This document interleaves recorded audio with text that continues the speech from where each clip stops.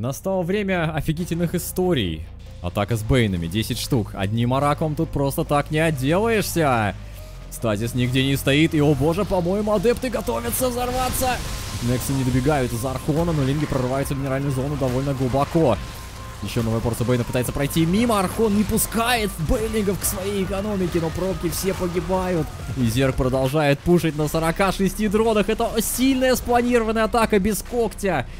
Сироу даже пошел в атаку без гридов, на которые потратил ресурсы, не рассчитал, ошибся с таймингом, ошибся явно, потому что Коготь должен был быть готов к приходу бейлингов. Но, возможно, Сироу как-то почувствовал, как-то понял, не разведывал, но как-то почувствовал, что надо нападать раньше. И он снес практически полностью третью базу. У него уже почти на 20 рабов меньше соперника. Он пытается отменить четвертый Nexus противнику. Я напомню, что еще 2-2 и сейчас все решается. Кто-то из них сейчас поедет домой, пацаны. Кстати, на одной газилке не хватает одного раба, он тоже, возможно, это даже заметит. Если ты прямо сейчас заметишь, у тебя голосовое управление, не забывай. Попозже, пока сейчас, сейчас сразу не надо. Сейчас сигнал перейдет до Германии. Секунду, это небольшая задержка просто связи. Плохая погода, сейчас очень много снега. Зероу. Газилка. Зероу. Газилка на мейне.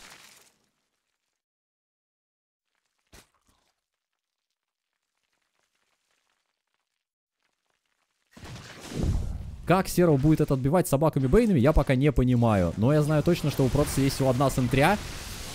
И возможность мощного доварпа. Какая красивая атака от Зерга со всех сторон. Приходится штормами все это дубасить. Зерг так долго под штормом простоял. Серо просто неумолим.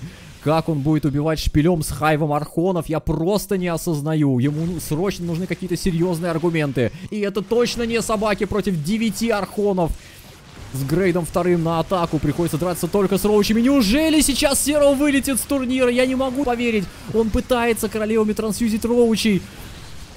Ему очень неудобно драться, осталось 4 архона, но сталкеров с зелками все больше и больше. Очень страшный давар по Атоса. Подходит до текания 4 хат, все личинки потрачены, у Серого есть куча денег на руках, и Тос отступает назад. Идет важное сражение за вылет с чемпионата Home Story Cup 22. Лимиты у Протоса уже больше, и Зерк вынужден отступать назад и, скорее всего, отдавать хату.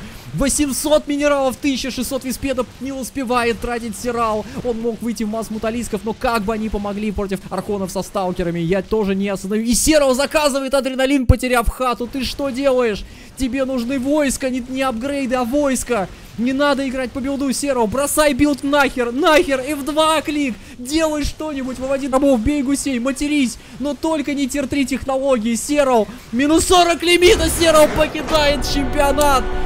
Проиграв со счетом 2-3 корейскому Протосу Зоуну. Боже мой, мы увидели это своими глазами. Друзья, прямо сейчас свершилось. Серого выкинули с чемпионата. Больше его игр не будет. Это просто какая-то фантастика. Зоун как будто сам не понимает, что произошло. Он только что выкинул чемпиона с турнира. И все уже начинают думать, что Зоун выиграет этот чемпионат. Эта мысль зарождается в умах всех, кто остался еще в этом чемпионате. Это просто невероятно. Ну а следующую шикарную катку, дружище, ты можешь посмотреть прямо по ссылке на экране, она уже доступна для тебя в шикарном качестве.